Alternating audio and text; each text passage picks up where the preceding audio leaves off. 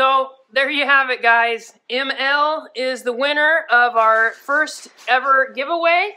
And uh, ML, I hope you see this. And make sure you make a comment below so I know exactly who you are. Uh, I will leave my email uh, below. Um, and hopefully we can get connected.